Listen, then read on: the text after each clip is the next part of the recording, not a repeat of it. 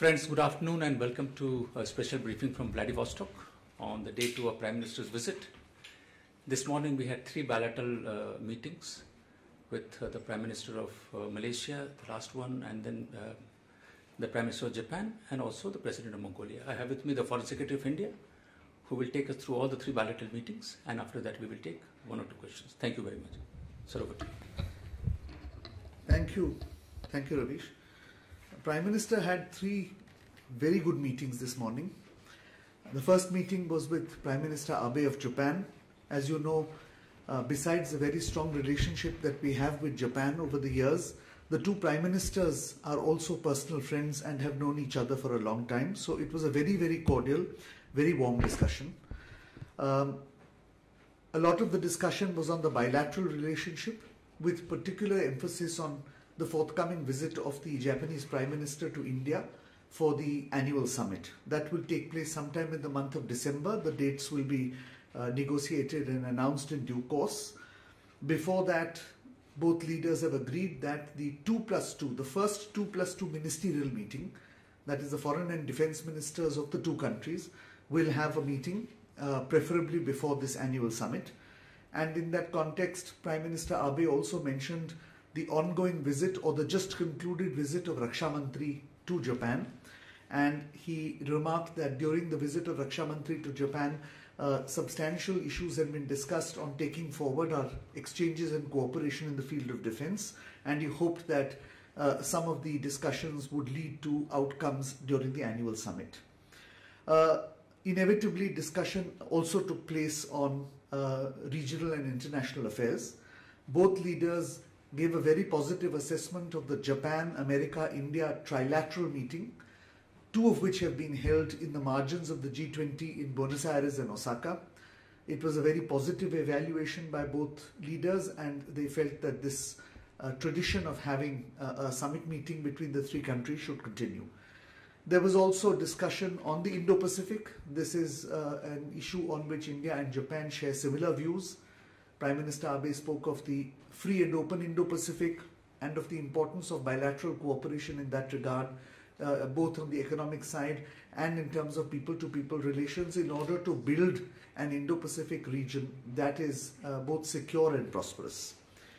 Uh, one of the areas that the two leaders touched on was, of course, Africa, because we are beginning to have uh, cooperation trilaterally between India, Japan, and African countries. And in this regard, uh, Prime Minister Abe mentioned specifically that during his visit to India, uh, we will have further discussions in this regard.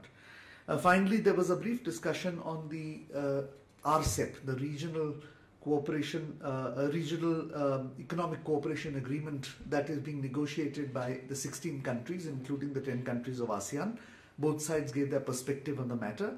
Prime Minister mentioned in particular that we have some uh, issues of interest both in trade in goods and trade in services and that this should be uh, kept in mind when any regional trading arrangement is made uh, so that there is a comfort level on all sides for this agreement. Uh, the, this was followed by a very very warm meeting with the Prime Minister of Malaysia. As you will recall, our Prime Minister was among the earliest leaders who called on him in Kuala Lumpur soon after his election uh, and Prime Minister, uh, in his meeting today with Prime Minister Mahathir, described Prime Minister Mahathir's election as a very historic one uh, and uh, said that India was looking forward to working together with Malaysia. Uh, a lot of the discussion took place on uh, bilateral matters. Prime Minister Mahathir acknowledged that there was a growing trade between the two countries, but that Malaysia had a surplus in trade. And he assured the Prime Minister that while we should continue to grow this trade, Malaysia is looking at ways in which we can balance the trade as well.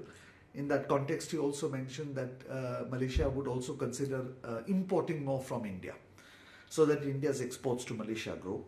Uh, there was uh, some discussion on the uh, uh recent internal developments in the country, and uh, in this regard, Prime Minister explained to the Prime Minister of Malaysia the rationale behind uh, the reorganization of the state of Jammu and Kashmir uh, in terms of both giving effective governance and in terms of delivering socio-economic justice. And uh, in that context, uh, the two leaders discussed the focus was on terrorism, on efforts by both sides to uh, uh, on how to cope with the glowing, the growing global terror. Prime Minister of Malaysia, in fact, acknowledged that this is now a global problem, and he unequivocally expressed that terrorism uh, is, in any form, is something that Malaysia is against. Uh, there was also a brief discussion between the two leaders on some of the other international issues. Uh, but uh, broadly, uh, given the paucity of time, uh, there could not have been any uh, detailed discussion.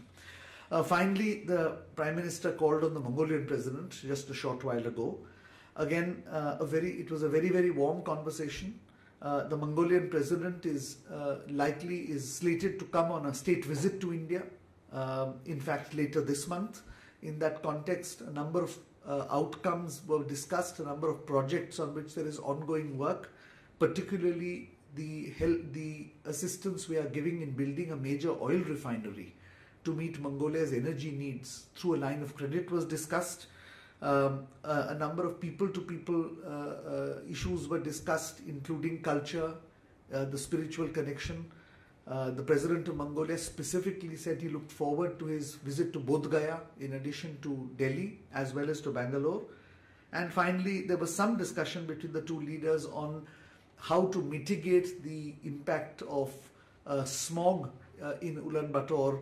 And in that regard, the president of Ulaanbaatar spoke of the success that India is having uh, in mitigating uh, the, the uh, pollution due to stubble burning of wheat uh, in, uh, uh, in the winter months. So overall, I would say that these were three very, very productive, very good meetings. These were in the margins of the main event, which is the Eastern Economic Forum, which is due to commence shortly.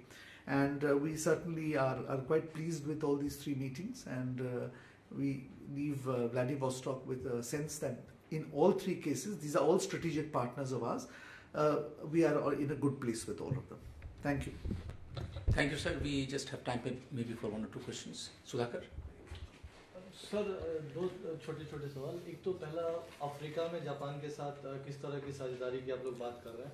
और दूसरा Malaysia में जाकिर नाइक हमको पता है तो जाकिर नाइक के extradition के लिए भारत लगातार कोशिश कर रहा है तो उस मुद्दे पर बात हुई क्या? थैंक यू आपका सवाल है? हाँ, जहाँ तक अफ्रीका की बात है वहाँ तो हम जापान के साथ ऑलरेडी भागीदारी कर रहे हैं लेकिन प्राइम मिनिस्टर आबे ने ये कहा कि जब वो भारत की यात्रा पे आएँगे तो कुछ और देश हैं अफ्रीका में, जहाँ भारत और जापान इकट्ठा काम कर सकते हैं। तो उस मामले में अभी चर्चा जारी है। अभी कोई तय, कुछ तय नहीं है, लेकिन दोनों लीडरों का ये मत है कि हम दोनों साथ साथ अफ्रीका में काम करें। जहाँ तक जाकिर नाइक की बात है, जी हाँ प्रधानमंत्री ने इस बात को उठाई है, और हम दोनों पक्ष ने यह तय किया है कि हमारे अधिकारी इस पे संपर्क बनाए रखेंगे। और हमारे लिए महत्वपूर्ण विषय है। Thank you very much we have another engagement thank you all for joining thank you